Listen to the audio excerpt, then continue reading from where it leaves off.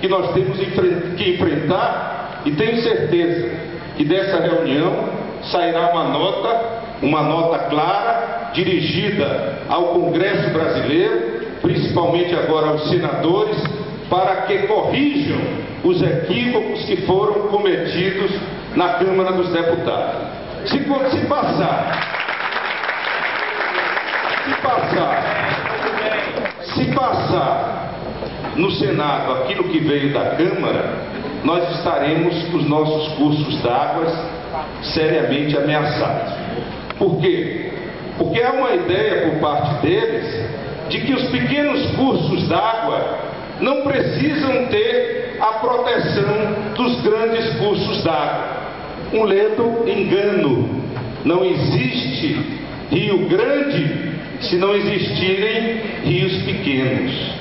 São dos rios pequenos que nascem os grandes rios. Ora, se nós ameaçamos os pequenos rios, nós estamos ameaçando também os grandes rios.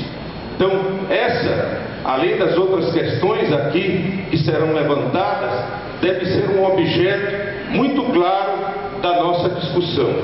A outra, seguramente, é que nós devemos colocar a posição da sociedade brasileira na Rio Mais 20. O Brasil é o anfitrião desse encontro. O Brasil tem diferenciais importantes para mostrar ao mundo, dentro dessa perspectiva da nova economia verde, a economia de baixas emissões de gases do efeito estufa. Então, nós temos que nos posicionar também frente a esta grande reunião internacional. Nós temos um diferencial, porque nós temos biomas como a Amazônia, integrados até hoje, com mais de 80% da floresta em pé. Isso é um patrimônio, é um diferencial que nós não podemos deixar de levar em conta. Também não podemos deixar de levar em conta que os padrões de consumo, os padrões de produção, eles têm que ser mudados.